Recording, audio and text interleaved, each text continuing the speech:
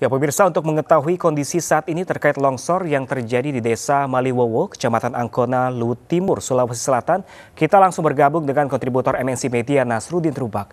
Ya Nasrudin, apakah hingga malam hari ini evakuasi masih terus dilakukan? Silakan Nasrudin. Ya pemirsa dan juga Brans yang ada di studio hingga malam hari ini proses pencarian korban yang tanah longsor yang terjadi di desa Maliwowo, Kecamatan Angkona, Kabupaten Lu Timur, Sulawesi Selatan kini dihentikan sementara dan pencarian yang berlangsung sejak pagi tadi kembali berhasil mengevakuasi satu korban yang uh, tewas akibat longsor yang terjadi. Dan selain mengevakuasi material longsor, jumlah tim uh, juga melakukan proses evakuasi material tanah yang menimbun jalan Trans Sulawesi yang menghubungkan uh, tiga provinsi yang ada di Sulawesi, masing-masing provinsi Sulawesi Tenggara, Sulawesi Selatan, dan Sulawesi Tengah.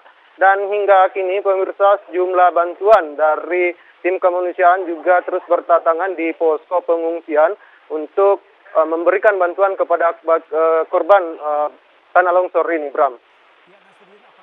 Dengan adanya peristiwa ini diperkirakan masih ada korban yang hilang?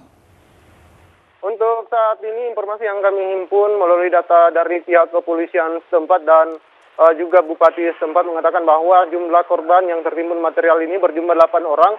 Namun berbeda dari data pihak BPBD dan juga uh, Badan Penanggulangan Bencana Pusat atau Badan Penanggulangan uh, Bencana Nasional yang mengatakan bahwa jumlah uh, tanah longsor akibat uh, bencana tanah longsor ini hanya berjumlah tujuh orang dan uh, untuk sementara atau uh, pencarian ini akan terus dilanjutkan hingga hari ketiga mengingat uh, lokasi longsor di mana uh, terjadi longsor ini merupakan jalan Trans Sulawesi dan tidak menutup kemungkinan masih ada korban lainnya yang uh, tertimbun terutama bagi pengguna jalan. Dan hingga kini uh, sejumlah alat berat, sedikitnya tujuh unit alat berat masih uh, terus disiagakan di lokasi longsor, Bram.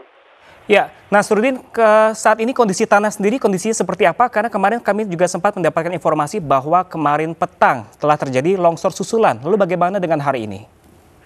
Untuk hari ini sendiri kondisi cuaca memang sudah uh, cukup baik dan untuk kondisi tanah sendiri mulai mengeras sehingga uh, dari uh, tim evakuasi juga berkesempatan untuk terus uh, mengevakuasi material tanah yang sebelumnya itu berkisar 3 hingga 4 meter di badan jalan Bram.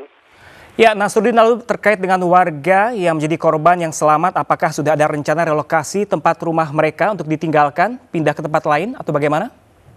Untuk saat ini belum ada rencana tersebut dari pemerintah setempat. Uh, kemungkinan uh, besok uh, hal tersebut akan dibicarakan oleh pemerintah setempat karena kondisi uh, para pengungsi saat ini sebagian besar uh, telah mengungsi keluar kota bahkan uh, telah mengungsi uh, keluar provinsi untuk mencari keluarga mereka yang cukup dekat uh, untuk uh, bertahan hidup mengingat rumah mereka kini telah hancur, Bram.